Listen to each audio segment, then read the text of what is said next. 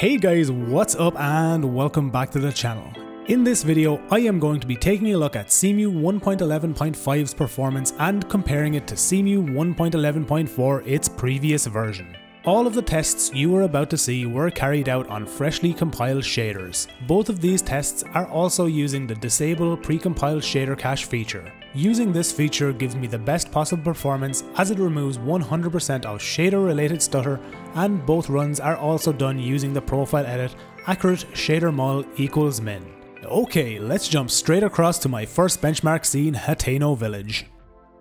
Okay, so straight away you can clearly see that Cemu 1.11.5 already has much much better performance than Cemu 1.11.4. Once again I must point out that in all of these benchmark runs I am using GX2 Draw Done, the feature that enables more accurate emulation but at the cost of performance. The only graphics packs that I have active are FPS++, a 1080p resolution graphics pack, my own personal realistic clarity preset and I am also using the BSOD framerate unlocker which allows me to push past the 60 FPS frame limit. 1.11.5 wins the performance crown in this scene, let's move along to our Kakariko run. As we saw in the previous benchmark scene, Cemu 1.11.5 is absolutely destroying its predecessor. Something I have noticed quite a lot in 1.11.5 is the fact that in open world areas not inside of towns, performance in 1.11.5 is absolute miles ahead of 1.11.4. At the end of this Kakariko scene, you are going to see me run out of the town into the open world. I'm just going to speed the footage up so you can see the actual performance variance between the two versions. So straight away, as you can see, once we leave the town, our performance in 1.11.5, and you must remember that GX2 Draw Done is turned on in this circumstance, absolutely skyrockets. Now, not only is 1.11.5 maintaining a much higher frame rate, it is also maintaining a much better frame time and has much, much better frame rate stability. Let's quickly move across to our next scene, Zora's Domain.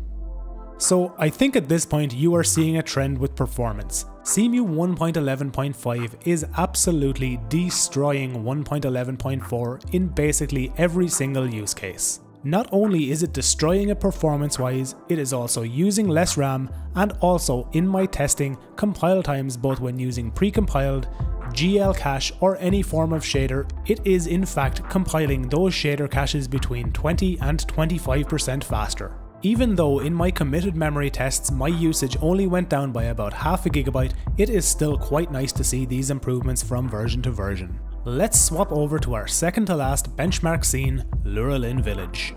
As I have stated in previous versions and comparison videos just like this one, I like to use Lurelin Village as a benchmark scene as it has a nice blend of open world elements but also is quite a nice small village containing lots and lots of NPCs, lots and lots of rendered torches, fires and smoke effects, and it gives you a fairly good example of what your performance is going to be like the majority of time out in the open world. In my final test scene, we are going to be taking a look at the performance on the Great Plateau when moving from the Shrine of Resurrection all the way down to in front of the Temple of Time. The reason I have included this area in my benchmark runs is that the Great Plateau is one of the most performance hogging areas in the entire game.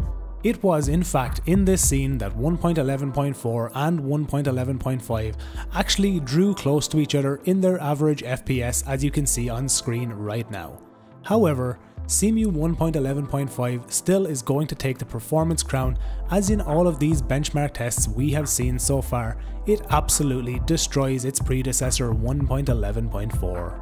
In NPC crowded areas like Hateno, Kakariko and Zora's Domain, we saw performance differences between the two versions of between 5, 6 and 8 FPS on average, and in the open world areas that we visited, we saw performance deltas of between 15 to 18 FPS. This is one of the biggest performance differences we have seen between Cemu versions in quite some time, and if for some reason you did not upgrade from 1.11.3 or any older versions to 1.11.4, this truly is a very good time for you to update Cemu versions. My full setup guide will be released in the next day, so keep an eye out for that on the channel.